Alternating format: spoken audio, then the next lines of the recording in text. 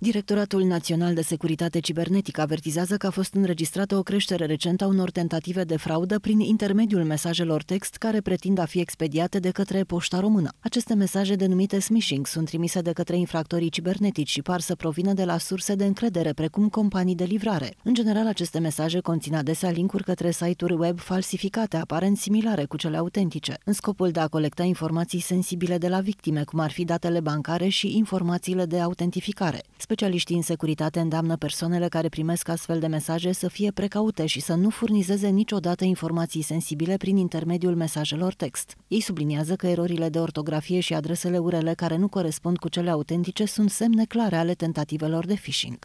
În cazul de față, atacatorii s-au folosit de numele poștei române pentru a inspira încredere și a determina destinatarii să acceseze linkuri periculoase sau să divulge informații confidențiale. Acești infractori pot folosi tehnici de email to SMS gateway pentru a trimite mesaje SMS de pe adresele de e-mail. Această metodă permite trimiterea de mesaje text prin e-mail, care apoi sunt convertite în SMS-uri de către gateway-uri și livrate pe telefoanele mobile. Astfel, un mesaj trimis de pe o adresă de la Gmail sau uh, hotmail.com uh, pot apărea pe telefonul mobil al destinatarului ca un SMS.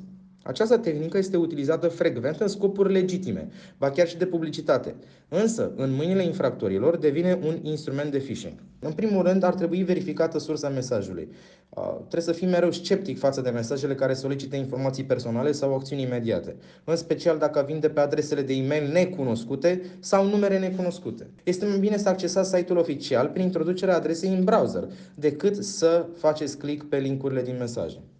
De asemenea, specialiștii în securitate cibernetică mai recomandă evitarea accesării linkurilor din mesajele text care par suspecte și acordarea unei atenții sporite asupra solicitărilor care implică acțiuni imediate sau furnizarea de date de urgență. În cazul în care cineva devine victima unei tentative de fraudă smishing, este esențial să contacteze imediat banca și să raporteze incidentul autorităților competente pentru a minimiza eventualele prejudicii și pentru a contribui la investigarea acestor infracțiuni cibernetice.